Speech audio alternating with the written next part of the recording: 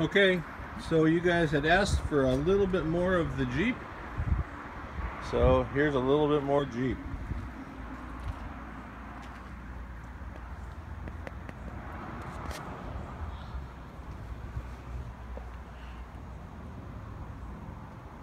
Found out these are Currie aftermarket axle housings. They're basically flipped upside down so the pinion's up real high.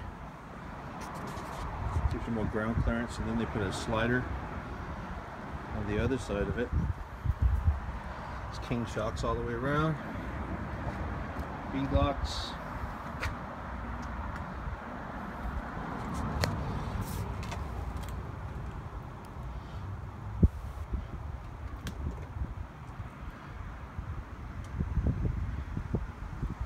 This thing has David Freiburger written all over it.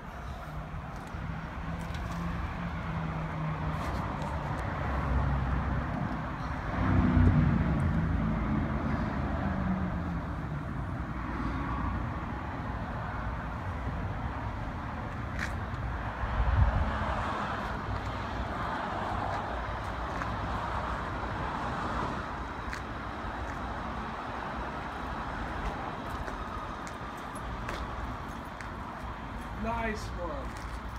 As long as it stays on its wheels.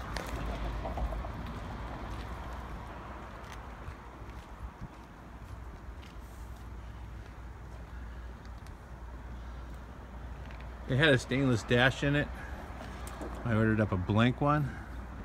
And then I'm cutting digital gauges into it. I'll polish it all up, get rid of all the little scuffs, keep it real simple.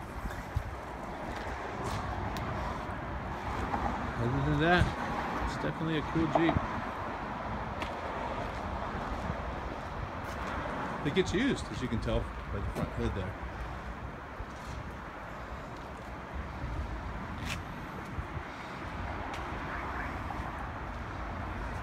That's it. See you guys next time.